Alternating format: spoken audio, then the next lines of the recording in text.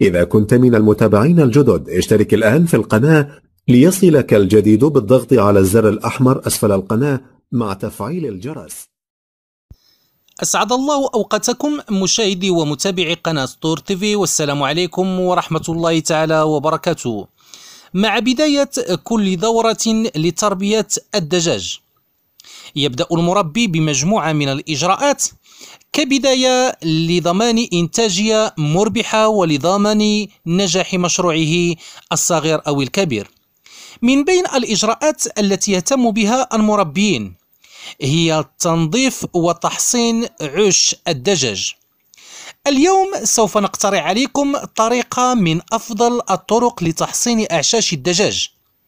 اقترحها علينا المربي أحمد عادل من العراق. نشكره بداية على مساهمته مع قناتنا ونتمنى له كل الخير في تربيته. نترككم مع هذه المشاهد.